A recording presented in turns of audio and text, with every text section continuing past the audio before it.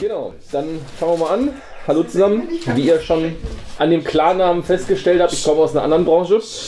Ähm, ich beschäftige mich unter anderem mit synthetischer Biologie, Biosicherheit äh, und artverwandten Themen und wurde neulich mal irgendwann, als ich mich mit Feli und David unter anderem unterhalten habe, gefragt, ob ich nicht mal ein bisschen was im Space dazu erzählen könnte, weil potenziell Interesse besteht. Hier bin ich. Äh, Brave New World of Biotechnology. Ähm, heute geht es ein bisschen darum, was in der Industrie aktuell gerade passiert im, Prinz, äh, im Hinblick auf Datensicherheit, äh, Genomdaten ähm, und Ausblicke und Implikationen, die das für unser aller Leben haben könnte. In erster Linie äh, hier jetzt auch Fokus auf humane Anwendungen und dann hinterher 20% habe ich noch so ein bisschen Synbio und so weiter. Kommen wir dann dazu.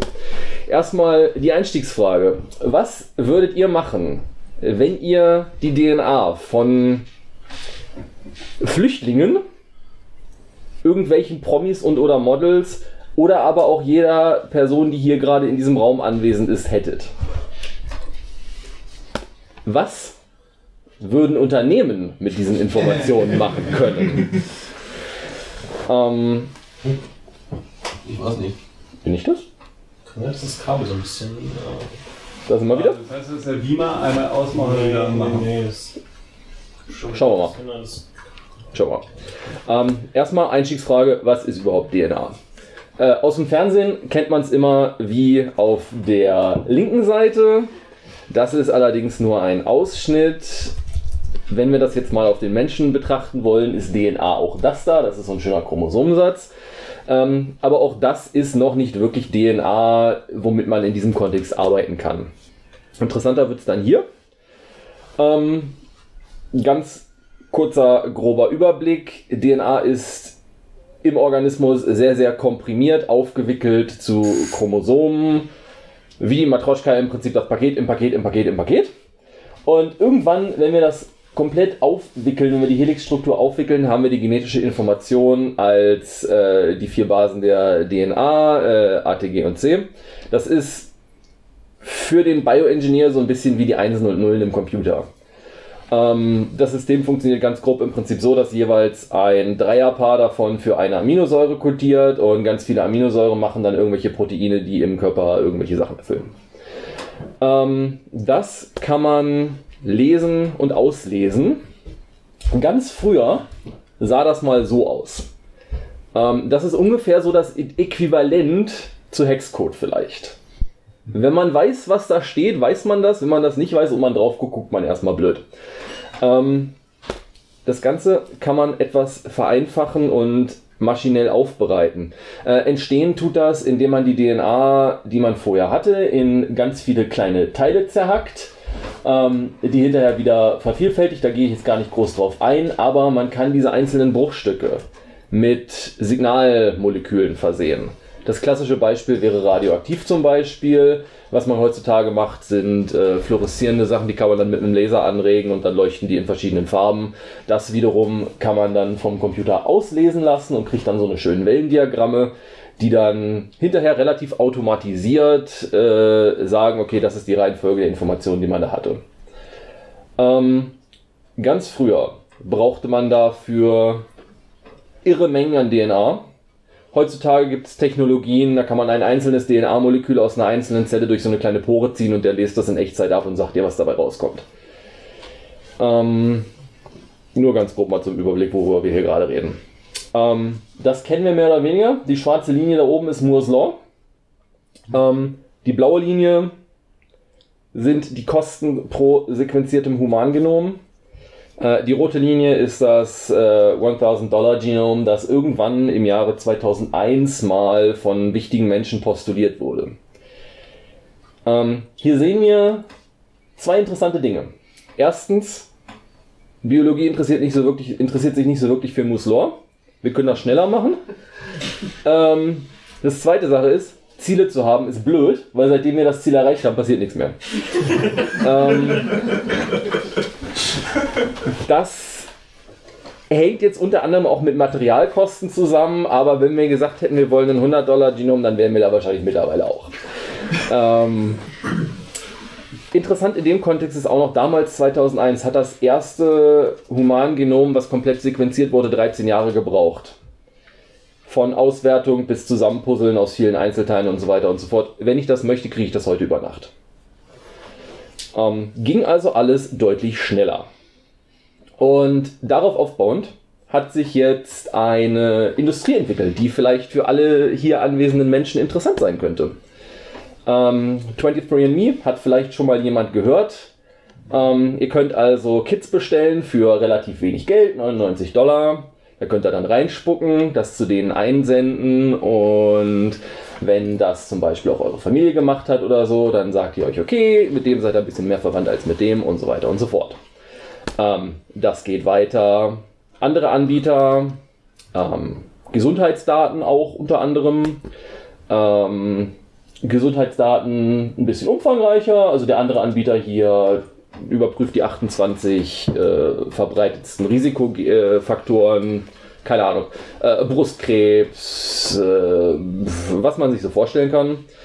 Und wir können auch herausfinden, ob wir ein Superheld sind. Wir können feststellen, wie wir uns am besten ernähren sollen äh, und wie unser ideales Fitnessprogramm aussieht. Ähm, wem das noch nicht weit genug geht, Online-Dating. Ähm, man sendet seine DNA ein und irgendwie finden sie heraus, wie der ideale Partner äh, genetisch auszusehen hat. Ähm, ihr lacht ist tatsächlich nicht völlig unsinnig, weil es diverse ähm, Faktoren im Immunsystem gibt, die gegeneinander kompatibel oder nicht kompatibel sind und das spiegelt auch so ein bisschen in Pheromonen und so weiter wieder. Also man, man kann das schon testen, äh, ob das sinnvoll ist oder nicht, sei mal dahingestellt. Wenn ihr das nicht sinnvoll fandet und versehentlich auf klassischem Wege euren Partner kennengelernt habt, können die Gene euch aber auch noch sagen, wie eure Beziehung besser wird. ähm, ja. Was ich dann ganz spontan noch gefunden hatte, ist der da. Finde ich auch gut. ähm, Schick mal deine Genprobe hin. ähm, die sitzen in Kanada, ist also nicht ganz so problematisch. Ähm, aber tatsächlich ist es auch hier wieder so, dass bestimmte Gene, äh, bestimmte Cannabinoide verträglicher und oder lustiger machen. Ähm, kann, man, kann man sich überlegen, ob das, äh, ob das eventuell sogar funktioniert.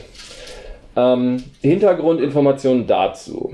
Ähm, sehr beliebt sind beispielsweise diese Krebsrisikotests. Es gibt allein für Brustkrebs ungefähr aktuelle Meta-Analyse, schätzt mal 350 äh, Mutationen, also sprich einzelne Basen, ein A oder ein T oder so zum Beispiel, die sich auf über 130 Gene auswirken, die dann in Kumulation äh, und oder in Wechselwirkung mit anderen Sachen Risikofaktoren äh, darstellen können. Wir erinnern uns zurück. Ein Genom kostet aktuell ungefähr 1000 Dollar. Diese ganzen Tests hier kosten ungefähr so 100 bis 300, 400 Dollar, je nachdem wie umfangreich die sein sollen. Ähm, das sind nicht Komplettsequenzierungen, die dort gemacht werden. Das sind spezielle Multiplikationen der Bereiche, die dann analysiert werden. Aber dann hat natürlich die Firma mal eure DNA. Ähm, der ganze Markt wächst. Ich hatte jetzt keine aktuellen Daten gefunden, wollte jetzt nicht durch irgendwelche Börsenberichte gehen, deshalb ist das jetzt 2017. Äh, wir können mal davon ausgehen, dass ungefähr diese exponentielle Kurve, die Ancestry da zeigt, bei allen anderen das auch macht äh, und sich entsprechend weiterführt. Ähm, ist also ein Riesenmarkt, weil, hey, ich finde raus, mit wem ich verwandt bin. Es macht auch Spaß, so ein Kit mal zu benutzen. Ähm, Soweit, so gut. Jetzt kommen wir mal zu dem wirklichen Businessmodell dieser Firmen. Ähm, 23andMe hatte ich schon gemeint. Ähm, da gab es vor drei Jahren, kam es dann raus oder wurde es dann offiziell, ähm, dass es einen Hintergrund gibt. Und zwar werden diese Daten, die dann da von euch gesammelt werden, ähm, weitergereicht an andere Unternehmen, die die gerne kaufen möchten. Das sind aktuell in der Regel Pharmakonzerne, die diese Metadaten nutzen, um festzustellen, dass 99% der Menschen, die Brustkrebs haben, eine Mutation in diesem Gen haben. Komme ich später zu. Ähm, wenn man Daten handeln kann, kann man die auch auf eine Blockchain werfen. Warum man das machen würde, müsst ihr mir sagen. Weil Geld bringt. Ähm, ja. Was passiert, wenn wir große Sätze an Metadaten haben? Wir wollen da nicht mehr selber durchgucken. Es gibt also auch zusätzlich zur Blockchain-Verwertungsindustrie eine Sekundärindustrie, die uns das Ganze auswertet. Und äh, Amazon Web Services und so weiter bietet da natürlich dann auch ihre Server dazu, um die relativ umfangreichen Datensätze dann auch zu speichern am Ende des Tages. Ähm, kommen wir mal zu Anwendungsbeispielen. Ähm, 23andMe hat ihren Datensatz beispielsweise an die Pharmaindustrie weitergegeben. Ähm, es sei gesagt, dass mittlerweile in den AGBs auch steht, dass sie das machen, allerdings keine personalbezogenen Daten, sondern wirklich nur die Metadaten. Ob das ein Problem ist oder nicht, besprechen wir gleich. Ähm, es gab vornehmlich in den Staaten ähm, in den letzten Monaten äh, und im letzten Jahr vor allem ein paar Dinge, die ans Licht gekommen sind. Ist vielleicht eine Negativkonnotation, aber die äh, groß in der Presse waren auf jeden Fall, wie diese Genomdaten auch genutzt werden. Ähm, zum einen wurde von GED Match, sagt mir jetzt persönlich nichts, ist auch egal, äh, der komplette Datensatz einfach mal an die US-Behörden äh, weiterverkauft äh, weil die festgestellt haben, hey, da kann man ja was mitmachen. Ähm, dann gab es einen anderen Fall, den einige von euch bestimmt mitbekommen haben, war auch auf Heise seinerzeit, dass anhand von diesen äh, Verwandtschaftsbestimmungsgentests auf einmal über drei Ecken irgendein vermeintlicher Mörder gefunden wurde, der selber gar keinen Gentest in Auftrag gegeben hat aber seine komplette Familie. Und dann hat man halt festgestellt, okay, ich habe da mal DNA gefunden, das hat so und so viel Match mit äh, der Person und der Person und der Person. Und die sind alle verwandt. Und dann suchen wir mal alle anderen Männer in der Familie und lassen die mal Gentests abgeben. Und auf einmal haben wir dann einen Mörder gefunden. Oder einen vermeintlichen Mörder. Oder wir haben einen anderen vermeintlichen Mörder sozusagen von seinen Anschuldigungen äh, freisprechen können. Das Problem ist, der war zu dem Zeitpunkt schon tot, aber das ist eine andere Geschichte. ähm, das Problem ist nämlich, da gibt es einige Präzedenzfälle auch, dass in den 70ern hat man sich über DNA noch nicht so viele Gedanken gemacht. Wenn ihr heutzutage irgendjemanden umbringen wollt und ihr verliert am Tatort eine einzige Hautschuppe, kriegen die euch. Mord ist heutzutage eine schlechte Idee, Forensik ist gut. Ähm, hier gibt es jetzt diesen Polizisten, der in eine ganze Menge Fälle involviert ist, beziehungsweise in, in, im Kontext dieser Fälle man DNA-Spuren gefunden hat. Jetzt kann man sich mal fragen, ist das ein Polizist, der tatsächlich nebenbei aus Hobby irgendwelche Leute umbringt? Oder ist das ein Polizist, der versehentlich Polizist ist und am Tatort war? Äh, kann im Nachhinein keiner mehr klären. Ähm, macht schöne Schlagzeilen, wird wahrscheinlich auch keiner mehr klären eindeutig sowas äh, rauszustellen, wenn man im Vorfeld keine äh, Negativprobe abgegeben hat, was heutzutage Polizisten, Forensiker und so weiter machen. Die sind dann sozusagen im System, da wird dann abgeglichen, da fällt man, stellt man dann raus, okay, positiv, weil der Typ hat wieder seine Schuhe irgendwie nicht mit Überschuhen getragen oder so. Positive Anwendungen. Ähm, Gentherapie zum Beispiel äh, prominente Firmen sind beispielsweise CRISPR Therapeutics und Editors Medicine, ähm, die auf diesen Metadaten basieren, nicht zwangsläufig gekaufte Datensätze, aber auch einfach klinische Studien von Patienten, wo dann bestimmte DNA-Abschnitte einfach mal analysiert wurden. Äh, sehr beliebt, diverse Krebsformen, äh, Sichelzellanämie, äh, alle Erbkrankheiten, die man sich sonst so vorstellen kann, äh, kann man potenziell daran ähm, erstmal als lohnendes Ziel festmachen. Ähm, wie würde das im Prinzip funktionieren, wissen wir selber noch nicht ganz, soweit sind wir noch nicht. Äh, dass wir diese Therapien dann auch im Organismus dahin kriegen, aber beispielsweise alles, was irgendwie Knochenmark ähm, befällt, nimmt man, Knochen, nimmt man Knochenmark, behandelt das Knochenmark, kürzen wir es mal so ab, gibt dem Patienten eine Chemotherapie, tötet sozusagen alle körpereigenen Zellen ab, äh, transplantiert dann die behandelten Zellen und damit ist das Knochenmark dann eben äh, editiert und die Erbkrankheit, die im Knochenmark hängt zum Beispiel, wäre raus. Ähm, kann man ganz gut, also gut in Häkchen, aber mit äh, diversen Leukämieformen zum Beispiel machen. Gab es vor zwei Jahren einen Fall, da war ein, äh, Säugling äh, unheilbar Ähm, dann haben sich Ärzte und Eltern entschlossen, das mal zu versuchen. Dem Kind geht's gut. Symptomfrei. Ähm, anderes Beispiel, Gene Editing. Gene Editing und Gene Therapy, der Unterschied ist, Gene Editing zielt auf Keimzellen ab, sprich, das kann auch weitergegeben werden. Ähm, den Mann da oben äh, hat man im letzten Jahr auch häufiger mal in den Medien gefunden. Das ist ähm, ein chinesischer Wissenschaftler, der die CRISPR-Babys äh, kreiert hat, ähm, die er im Prinzip gegen HIV immun machen wollte wurde jetzt gerade zu Gefängnis verurteilt. Äh, meiner Meinung nach nicht, weil er irgendwas Böses gemacht hat per se, auch wenn die wissenschaftliche Gemeinde dem sehr kritisch gegenübersteht, sondern mehr, weil er damit zu publik gegangen ist und die Chinesen handeln mussten. Ähm, weitermachen werden sie das garantiert. Ähm, das wirft Fragen auf, die auch in der Presse relativ prä äh, präsent sind. Und äh, die Russen waren jetzt vor dem Urteil, aber auch Russland plant Sachen damit zu machen. Kann man sich jetzt mal überlegen, wenn man einen hinreichend großen Datensatz hat und weiß, was man machen muss, um Supersoldaten zu züchten zum Beispiel, kann man das relativ einfach machen, um mal ein sehr plakatives Beispiel in den Raum zu werfen. Ähm, DIY Biology ist auch sehr schön. Ähm, zwei Beispiele. Das obere ist nicht Josiah. Josiah ist relativ seriös in dem, was er tut. Ähm, aber falls irgendjemand von euch laktoseintolerant zum Beispiel ist, äh, ihr braucht ungefähr 3000 Dollar und eine Woche Zeit, dann habt ihr euch in eurem Keller eine Gentherapie dagegen äh, zusammengebaut und seid hinterher nicht mehr laktoseintolerant. Ist das sicher? Wenn ich laktoseintolerant wäre, ich würde es machen. Ist es getestet? Nein. Ähm, der gute Mann hat halt einfach ein Paper gefunden, hat gesagt, ich probiere das jetzt mal aus und äh, trinkt jetzt wieder Milch. ähm, andere Sachen, die so Leute machen, haben wir unten rechts. Ähm, man kann sich zum Beispiel irgendwelche Wachstumsfaktoren in seine Muskeln injizieren. Ähm, das sinnvoll ist, sei dahingestellt. Ähm, es gibt einen relativ prominenten YouTuber, der züchtet gerade äh, leuchtende Hunde. Ähm,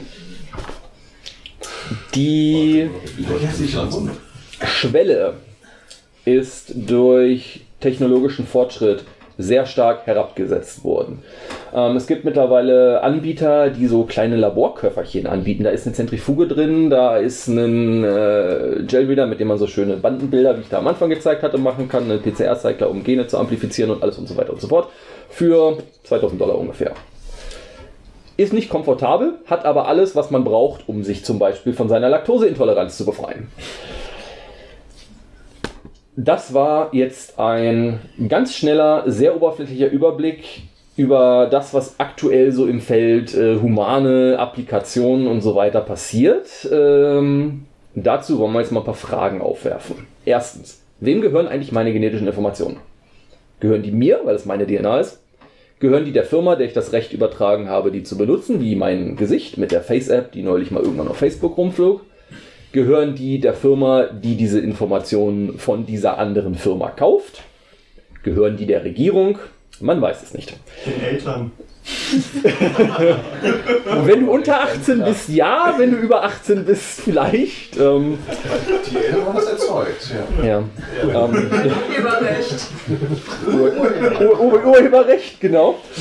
Ähm, das heißt, wenn ich Menschen klone, will ich dann auch mal kopieren.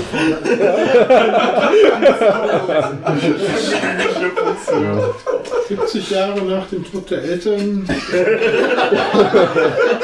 Sind dann Enkel per Use?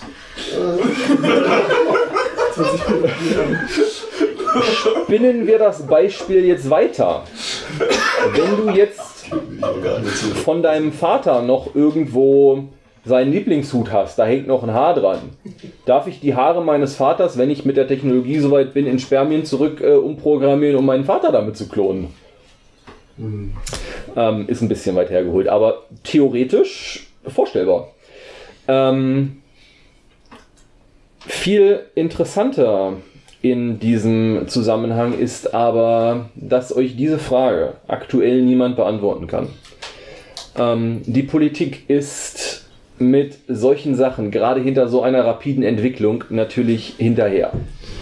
Dann wird es weiter komplex, denn ähm, wenn die Firma in den Staaten sitzt, ich in Deutschland mit ihr einen Kaufvertrag abgeschlossen habe, sie die Daten an eine andere Firma weiterverkauft, die beispielsweise in Russland sitzt, die das Ganze auf einem Server auf den Cayman Islands lagert und so weiter und so fort, haben wir auf einmal ein Problem. Ein anderes Problem ist relativ simpel. Was ist diese DNA wert? Ähm, das kann man ganz einfach beantworten. Ihr kennt sicherlich Island. Auf Island gibt es eine App, die euch, wenn ihr abends jemanden in der Kneipe trefft, sagt, ob ihr in dieser Nacht versehentlich mit dieser Person ein Kind zeugen solltet oder ob ihr es lieber bleiben lasst. Ähm, der Hintergrund ist, dass es relativ wenige Isländer gibt. Richtig, genau. Also es gibt ungefähr 363.000 Isländer. Ähm, 362.800 irgendwas, um es genau zu nehmen. Ähm, da ist also der Gefahr der Inzucht relativ hoch. Deshalb hat die isländische Regierung einen sehr umfangreichen, erschöpfenden Stammbaum der Gesamtbevölkerung äh, angefertigt, auch mit genetischen Informationen und allem Pipapo, um halt eben zu vermeiden, dass man sich mit den falschen Leuten paart. Ähm, diesen Datensatz haben sie 2018 an Roche verkauft. Roche ist ein sehr, sehr großer Schweizer äh, Pharmakonzern, der diese Daten jetzt in seinem amerikanischen Branch äh, dafür nutzt, um äh, Gentherapien und so weiter zu erforschen. Was schätzt ihr, für wie viele Geldeinheiten hat man das verkauft? Was kostet ein Wikinger? ähm, 50 Euro pro Nase. Also, um nochmal um noch auf den Anfang zurückzukommen, eine so eine komplette Sequenzierung würde uns aktuell 1000 Dollar kosten. Okay. Verkauft hat man den kompletten verkauft hat man den kompletten Satz für 200.000 Dollar. Sorry. No, sorry, sorry. 200, 200 Millionen. Zu viel mehr Nullen. 200 Millionen. Okay. Wenn wir das jetzt also durch unsere 363.000 Isländer teilen, sind das ziemlich genau 550 Dollar. Ich weiß nicht, also ich würde meine DNA nicht für 550 Dollar verkaufen, inklusive Nutzungsrechte, aber das hat scheinbar die isländische Regierung für Island entschieden. Ähm, Ziemlich gute Idee at the time. ja. Wenn diese Daten kaufbar sind,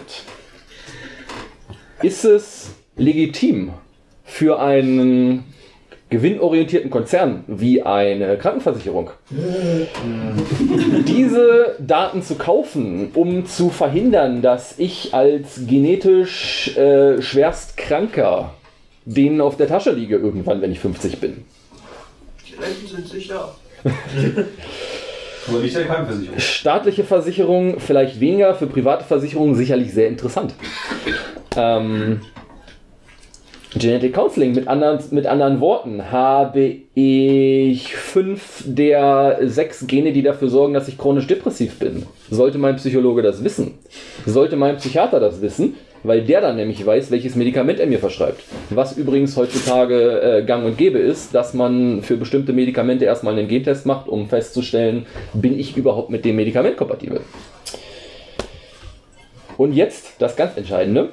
Kann so ein Datensatz an Metadaten irgendwie verwendet werden, um Biowaffen zu bauen? Ja. Kommen wir mal auf die Flüchtlinge zurück. Wenn eine bestimmte Bevölkerungsgruppe ein Gen hat, das eine bestimmte andere Bevölkerungsgruppe nicht hat, habe ich damit automatisch und sofort das große Problem aller Biowaffen gelöst. Mhm. Ähm, Hintergrundinformationen, Biowaffen sind von allen relevanten äh, Regierungen heutzutage geächtet, da wird auch keiner mehr anfangen, auch nicht im Dritten Weltkrieg. Das Problem ist. Vielleicht im vierten. Vielleicht im vierten. Ähm, das Problem ist aber, was macht denn der Verrückte in seinem Keller? Da ist die, da ist die, die wirklich, das wirkliche Risiko. Denn das Problem ist, wenn ich heutzutage irgendwo hingehe und äh, sagen wir mal, ich nehme mir mal drei Wochen Zeit, kaufe mir einen Sack Blumenerde, isoliere da Antrags raus. Kann jeder Zweitsemester Biologiestudent, wenn er ein bisschen Langeweile hat. ähm, dann unterliegt das. das ist nicht hier im Space von unserer Haftpflichtversicherung. ähm, ja, so, so, so Biohacking-Spaces und so weiter sind in Deutschland sowieso äh, politisch problematisch. Insofern äh, sind wir da hier auf der sicheren Seite. Ähm, aber das, das große Problem, was Biowaffenforschung hat, ist, ich habe entweder etwas, was hoch ansteckend ist, ich habe entweder etwas, was eine hohe Mortalitätsrate hat. Oder ich habe entweder etwas, äh, wo ich hinterher diese Region auch noch wieder betreten kann, ohne selber Probleme zu haben. Diese drei Sachen lassen sich sehr, sehr schwer vereinbaren. Der große Filter, den man sich jetzt vorstellen kann, ist, ich targete irgendeinen spezifischen DNA-Bereich, den nur mein Feind hat. Ist sehr, sehr weit hergeholt aktuell, aber vor 15 Jahren hätte auch keiner gedacht, dass ich über Nacht äh, alle eure genetischen Informationen zusammenpuzzeln kann. Ich wollte dich nur darauf hinweisen, dass das in Mass Effect 2 die Story war, Oh. die du gerade spoilst. Habe hab ich nicht gespielt, sorry, keine Ahnung. ähm, Damit hast du es jetzt gemacht. damit hast du es jetzt gespoilert, genau. Ähm, und vor allem Indirect Outings. Ähm, das ist wieder der klassische Fall mit der Polizei. Wenn mein eineiliger Bruder irgendwas hat, ist die Chance relativ groß, dass ich das auch habe. Möchte ich das wissen? Möchte ich, dass meine Familie das weiß? Schwer zu sagen. Ähm, Schulen zum Beispiel. Probleme, die auch, auch sowas vielleicht, man weiß es nicht. Ähm, Probleme, für die wir teilweise mit unserem heutigen Kenntnisstand keine Antworten haben. Probleme, auf die wir keine Antworten haben werden, wenn sie relevant sind. Ähm, in diesem Kontext, auch mit DIY, Bio, Biohacking und so weiter und so fort, ähm, fallen gerne Worte, die sehr zweischneidige Schwerter sind, auf die ich gleich nochmal drauf zurückkommen werde, wenn ihr noch ein bisschen Lust habt. Ansonsten wäre das hier mit vielen offenen Fragen der Datenschutz- und humanrelevante Teil dieses Vortrags. Ähm, ich würde jetzt sonst noch ein bisschen weiter gucken wollen. Das sind auch nur noch dreieinhalb Folien, da kann man aber auch sehr viel drüber diskutieren. Ähm, keiner sagt das, dann machen wir weiter. Der Bottleneck, den wir früher hatten, war die Auswertung der Informationen. Der Bottleneck, den wir heute haben, ist das Verwenden der Informationen. Ähm, ich kann so viel mit DNA rumspielen, wie ich will, aber wenn ich nur auf den Baukasten der Natur angewiesen bin, bin ich stark limitiert. Ähm, wenn man früher Gene oder DNA synthetisieren wollte, hat man sehr lange sehr viel manuell rumpipettiert, hat dann in so 96 Wellplatten, die sind so groß, da sind viele kleine Löcherchen drin, da gehen so 100 Mikroliter Flüssigkeit, das ist ein Zehntel Milliliter ähm, rein, da hat man dann in Kleinst, Kleinstvolumina, also so 10 Mikroliter oder so halt irgendwelche Sachen zusammengepackt, die dann durch schöne Reaktionen am Ende kleine DNA-Fragmente ergeben haben von 100, 200 diesen Nukleotidbasen ähm, die man, um sie zu irgendwas zusammensetzen zu müssen, dann noch mit Überhang ausstatten musste, die man dann hinterher an diesen Überhängen zusammenklebt. Dann hat man da wieder Narben sozusagen, wenn man das zusammenbaut. Ist alles kompliziert, ist nicht so schön. Hat auch lange gedauert. Ähm, moderne Technologie, ich suche mir da jetzt mal Twist Bioscience raus. Ähm, Disclaimer, Twist sponsert eine NGO, für die ich arbeite. Ich kriege indirekt von diesem Laden Geld. Ich mache indirekt ein bisschen Werbung für diesen Laden, weil sie mit die Marktführer sind. Ähm, die haben das Ganze auf Chips gepackt und können damit mal eben auf einem kleinen Chip, der ist so groß wie so ein Chip halt ist, ne? kennt man ja so als äh, Computermensch, äh, 9600 Gene in kürzester Zeit äh, in Kleinstvolumina zusammenbauen. Damit hat sich mit dieser Technologie die Effizienz hier um den Faktor 10 Millionen mal eben gesteigert. Ähm, Das ist aber immer noch Schnitzel aneinander kleben, bloß in automatisiert oder machen die es anders? Ja und nein.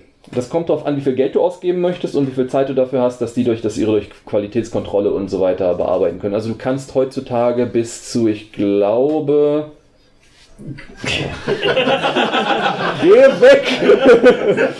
ähm, ich glaube, also bis zu zwei Kilobasen ist kein Problem. Gängige Fragmente, die man heutzutage so hat, sind so 300, 400, aber das geht auch mehr. Das wird dann halt irgendwann wird die Fehlerrate und die Produktionsgeschwindigkeit und so weiter beeinflusst, aber gehen tut das alles. Ähm, und damit kann man jetzt was machen, was uns ein bisschen in das Zeitalter der synthetischen Biologie befördert hat. Ähm, bevor ich jetzt zu Ginkgo komme, Ginkgo ist ein weiterer Laden, der aus der NGO, für die ich arbeite, entstanden ist und diese heutzutage sponsort. Ähm, auch hier habe ich äh, einen Interessenskonflikt, nur um das direkt mal erwähnt zu haben. Ähm, Die 2020er werden von Marktbeobachtern, Politikern, Wissenschaftlern als die Dekade der Bioökonomie bezeichnet, ähm, weil wir uns gerade dadurch, dass auch dieses Bottleneck jetzt gewissermaßen gefallen ist oder gerade immer mehr fällt, ähm, auf etwas hinbewegen, was sehr interessant, sehr potenziell risikoreich, wenn es im falschen Kontext verwendet wird, ähm, aber auch mit sehr viel Potenzial behaftet ist, äh, solche trivialen Dinge wie beispielsweise den Klimawandel oder aber die Nahrungsproblematik zu lösen. Ähm, große Worte, warum komme ich gleich zu? Ähm, Ginkgo ist ein relativ interessantes Unternehmen, weil sie angefangen haben, den ganzen Kram zu automatisieren. Als Wissenschaftler denkt man immer, man ist von der drohenden Automatisierung des Arbeitsmarktes befreit. Biowissenschaftler werden die ersten sein, die automatisiert werden. Ähm, das Wall Street Journal hat mal irgendwann geschrieben, dass äh, mit der Hilfe von äh, 10 Technicians, 10, 10 Technicians ist im Prinzip äh, irgendjemand, der irgendwie eine Maschine mit Flüssigkeiten beladen kann, ähm, und ein bisschen Software und ein paar Robotern äh, den Output von 50 bis 100 Wissenschaftlern äh, machen, so ungefähr. Ähm, was Ginkgo macht, ist, wir haben beispielsweise ein Enzym, das aus hypothetisches Beispiel Zuckeralkohol macht. Ähm, jetzt ist diese Hefe dabei ein bisschen ineffizient. Wir haben das Enzym gefunden, was das macht in der Hefe, aber wir wissen nicht so ganz, wie man das effizienter gestalten könnte. Traditionelle Forschung folgt ja äh, Hypothese, Experiment, Beweis. Synthetische Biologie macht das mehr so nach äh, Engineering-Prinzipien. Mit anderen Worten, wir probieren was aus. Wenn es nicht klappt, machen wir es anders. Fuzzy. Und Ginkgo macht das auf eine Art und Weise, die ziemlich abgefahren ist. Sprich, wenn ihr euch ein Protein vorstellt, was irgendwas macht, dann hat das bestimmte Bereiche, die sind für die Struktur zuständig, bestimmte Bereiche, die sind dafür zuständig, dass es eine Aufgabe erfüllen kann und ein bisschen Ballast. Und in diesen Bereichen, die relevant sind, also hauptsächlich Struktur und Aufgabenerfüllung, werden die jetzt Nukleotidbase für Nukleotidbase für Nukleotidbase austauschen, dieses Enzym künstlich herstellen, das per Roboter in eine Hefezelle reinklonieren diese Hefen dann in einem Mini-Bioreaktor sozusagen oder als äh, In-vitro-Test einfach gegeneinander antreten lassen und dann aus den, keine Ahnung, 100.000 verschiedenen Iterationen dieses Enzyms, das sie getestet haben, den besten Kandidaten auswählen. Und damit kann man dann viele lustige Sachen sehr günstig machen. Ähm, die haben wirklich angefangen mit dem, was ich heute beschrieben habe. Ähm, mittlerweile bieten sie ihre Plattform an. Ginkgo ist nicht an der Börse. Ginkgo wird das nächste Apple, Facebook, Microsoft werden. Ähm, mit ziemlicher Sicherheit, weil das sozusagen in den letzten drei bis fünf Jahren den Grundstein oder vom, von der Herangehensweise auf jeden Fall, äh, den Grundstein dafür gelegt hat, was äh, in Zukunft so ein bisschen aus der Bioeconomy kommen wird. Ähm, was kann das sein? Äh, Chemikalien beispielsweise. In den letzten zehn Jahren sind 50% der Chemie-Nobelpreise an Biologen vergeben worden. Warum ist das so? Chemie unterliegt Problemen. Reaktionen im traditionellen chemischen Raum sind ineffizient bis zum Umfallen. Wenn ich komplizierte Syntheseschritte habe und in jedem Syntheseschritt, sagen wir mal, wir haben einen guten Syntheseschritt und wir haben 5% ähm, Abfall, sprich 95% Effizienz, dann kommt am Ende von so einer Synthesekette verdammt wenig Produkt raus. Wenn ich das Ganze in eine Zelle haben kann, in eine Zelle transformieren kann, ähm, dann schwimmen da so lange die Zwischenprodukte rum, bis die Zelle alle Zwischenprodukte entweder umgebaut oder ausgeschleust oder was auch immer hat. Also die Effizienz ist extrem hoch. Ähm, das hat ein Problem mit toxischen Substanzen, das hat ein Problem mit äh, radioaktiven Substanzen, das hat ein Problem mit äh, sehr schweren Substanzen. Alle diese Probleme werden aktuell gerade gelöst. Ähm, Nahrungsmittel. Ihr kennt sicherlich alle solche schönen Sachen wie Beyond Burger und äh, Cultured Meat und äh, pff, was nicht alles. Ähm, fällt alles damit rein. Ähm, Pharma, Therapie, Diagnostik hatte ich schon so ein bisschen angesprochen. Ähm, Gehe ich jetzt nicht mehr groß drauf ein. Und eine Sache, die in diesem Kontext auch relativ interessant sein sollte, Datenspeicherung. Ähm, DNA hat im Gegensatz zum Binärcode vier lustige Buchstaben, mit denen man Sachen speichern kann. Wenn man jetzt mal kurz Mathe kann, kann man damit auf kleinem Raum wesentlich mehr Informationen verpacken. Ähm, hinzu kommt, Binärcode kannst du nur in einer Richtung lesen. Oder beziehungsweise in einem Leseraster. Wenn ich irgendwo anfange, brauche ich das nächste äh, Bit sozusagen, damit ich meine Informationen habe, wenn mir nicht gerade irgendwie als Biologe irgendwas abgeht. Ähm, wenn ich vier verschiedene Sachen habe, habe ich in einem Informationsstrang drei verschiedene Leseraster, in die ich Informationen reinkomprimieren kann. Ähm, Spoiler Alert, wir gehen sogar noch weiter. Wir konstruieren gerade nicht kanonische DNA-Basen. Um damit, also so ungefähr, also wenn man, wenn man mal so ein paar Publikationen guckt, was Leute parallel machen, haben wir aktuell ein Portfolio von ungefähr 20. Hat das praktische Anwendbarkeit aktuell? Nein. Der Prototyp neulich war, glaube ich, auch auf Heise. Da haben sie irgendein Kaninchen 3D gedruckt, wo die Kaninchen-DNA drin war, um damit wieder ein Kaninchen zu bauen. Äh, sie hatten neulich irgendeinen so Minifilm in irgendwas reingebaut, auch in DNA kodiert. Ähm, ist ein bisschen blöd, weil wir müssen das erstmal da reintun, dann müssen wir das wieder auslesen. Ähm, DNA hat aber gegenüber zu so einer CD oder so einem Flash-Speicher den Vorteil, dass die theoretisch Jahrtausende und noch länger hält, wenn man sie vernünftig verpackt.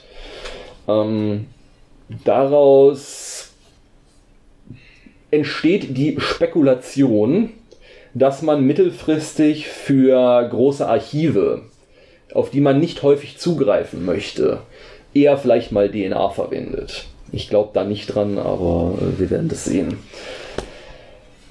Etwas, was gerade publiziert wurde, ist, was auch relativ groß ist, ist äh, Tissue Engineering und äh, solche Sachen. Ähm, kleine biomechanische Naniten zum Beispiel. Hat man hier versucht zu bauen, was man gemacht hat, man hat irgendwie äh, Froschzellen genommen aus der Haut und dem Herzen, hat die irgendwie zusammengebaut und das Ding kann sich tatsächlich ein bisschen bewegen, wenn man es stimuliert. Ähm, völlig abgefahren, sehr früher Prototyp. Ähm, was kann man damit machen? Im Prinzip alles, wo man kleine sich bewegende Dinger für braucht. Ähm, eines, was sie postuliert haben, was ich relativ fancy finde, man kann die Dinger beispielsweise durch irgendwelche großen Arterien durchlaufen lassen und Plaque fressen. Ähm, sehr, sehr weit raus, aber dahin geht der, geht der Horizont. Also intelligente Medizin, die könnten dir deine Gentherapie auch genau zu dem Organ hinfahren, zum Beispiel, wo du sie wirklich haben möchtest äh, und so weiter und so fort. Muss man, die Dinger dann auch, achso, muss man die Dinger auch ernähren? Äh, ja. Ja, mit Glucose aus dem Blut zum Beispiel. Zum Beispiel, also, also, wie gesagt, also bis du, bis du sowas so engineieren kannst, dass man das in irgendeinem Blut, dass es da dann relevant wird, das ist lange, lange raus. Ähm, aber die wachsen typischerweise in so einer Nährlösung. Also du hast für alle Zellkulturen eine Nährlösung, da sind ein bisschen Spurenelemente, ein bisschen Zucker, ein bisschen dies, ein bisschen das, ein bisschen jenes drin, äh, da wachsen die. Ich habe das Paper auch selber nicht gelesen, ich habe das äh, flotterte nur heute Morgen so durch meinen Feed und ich dachte mir, das schmeißt du da nochmal rein. Ähm, weil das ist relativ interessant. Und wenn man das Ganze jetzt ähm, noch ein bisschen aufmotorisiert, hat man auf einmal kleine sich selbst replizierende Maschinchen, die irgendwas können. Und da haben wir alle genug Science-Fiction-Filme für gelesen und gesehen, um zu wissen, was passiert, wenn wir das nicht vernünftig kontrollieren. Ja, das ist unser. Ja. ähm, good idea at the time. richtig, richtig. Eine letzte Folie. Ähm, das ist jetzt auch von Twist by Science wieder der aktuelle Börsenbericht für 2020. Ähm, wir erwarten mal nur im Bereich Sequencing, synthetische DNA-Produktion und so weiter und so fort äh, konservative Wachstumsraten von 20%. Ähm, ich, hatte es ich hatte es erwähnt, dass das Bottleneck, die Bottlenecks, die im Prinzip äh, relevant waren, sind aktuell gefallen und oder am Fallen. Ähm, das wird ein gigantischer Markt werden. Ähm, die US-Regierung beispielsweise hat den gesamten Midwest, was man so als Rust Belt und so weiter kennt, wo außer so ein paar Getreidefeldern nichts äh, los ist an Wirtschaft, jetzt mit absoluter Priorität zum Biobelt erklärt, ähm, wo man mit horrenden Investitionssummen jetzt versucht, Firmen anzusiedeln und so weiter und so fort. Ähm, um diesen Markt zu sichern. Ich glaube, ich bin fertig, genau. Insofern, hört doch mal auf! ja, ich habe es nicht ausgemacht, habe ich kapiert. ähm, insofern ein kleiner Rant. Ähm, in der Zwischenzeit hat die EU festgestellt, dass Gene böse sind. Ähm, das hat dazu geführt, dass man einen Großteil der relevanten Technologie, CRISPR habt ihr alle schon mal gehört, aufgrund aktueller Gentechnikrechtssachen äh, so positioniert hat, dass in Europa keinerlei Forschung und Entwicklung stattfindet. Die Biobranche, die wir nennenswert in Europa haben, abgesehen von kleinen Startups, die irgendwie lustige Sachen machen und so weiter und so fort, ähm, sind größtenteils Business to Business ähm, und solcherlei Geschichten lokale Vertretungen, derlei Sachen. Ähm, ist ein bisschen Problem, weil da ein gewisses Marktwachstum vorhanden ist, was wir gerade nicht wirklich haben wollen, in dem Sinne, wie wir es haben sollten, um zu verhindern, dass unsere Ressource Bildung und Technologie äh, von den Amerikanern und vor allem von den Chinesen äh, geklaut wird. Ich bin in dem Kontext mal gespannt, was in den nächsten Jahren so passiert. Ähm, aber Schlagworte wie Gene Drives, also sich selbst in Populationen replizierende DNA-Systeme, die zum Beispiel dafür sorgen, dass alle Moskitos äh, nur noch männlich sind, ist ziemlich cool, wenn man Malaria nicht mag. Ähm, wird gerade im Feld getestet in Afrika. Ist nicht so cool, wenn man sich mal vor Augen führt, dass so ein Moskito ja für so eine Fledermaus recht lecker ist, zum Beispiel. Und wenn man dann so ein ganzes Ökosystem damit äh, nachhaltig beeinflusst, kann das durchaus auch nach hinten losgehen. Zu dem Beispiel, Ja. das haben sie gerade gecancelt und haben zwischendrin dann noch ähm, Gegenmaßnahmen treffen müssen, um lokal da die Population wieder sich erholen zu lassen. Äh, in Burkina Faso haben sie das am 19.12. freigesetzt. Ich glaube nicht, dass sie das wieder canceln können. Ja, also die machen das auf jeden Fall nicht mehr. Ja, also es ist, äh, ja, ähm, der Einwand ist richtig, es ist, äh, es ist, es ist hoch äh, kontrovers. Ähm, und diese hohe Kontroverse führt halt dazu, dass ähm, alles, was in den Bereich Synbio fällt, gerne immer so ein Geschmäckle bekommt, weil es sehr starkes Missbrauchspotenzial hat. Extrem, extrem starkes Missbrauchspotenzial. Ähm, es hat aber auf der gleichen Seite extremes Potenzial, gute Dinge zu tun. Ähm, deshalb ist es wichtig, dass so Leute wie ich euch mal was erzählen, ähm, um einfach ein bisschen Awareness äh, zu verbreiten, was gerade so in der Welt vor sich geht, äh, Denkanstöße zu liefern und so weiter und so fort.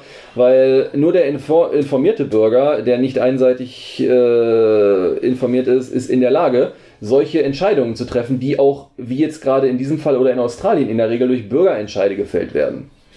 Und wenn der Politiker kommt, hört keiner dem Politiker zu, weil er der Politiker ist. Wenn der Wissenschaftler kommt, hört keiner dem Wissenschaftler zu, weil er nur der Wissenschaftler ist. Und dann stehen wir da. Ähm, sehr plakativ ausgedrückt, aber wir haben, was Biotechnologie angeht, weltweit ein Informationsproblem.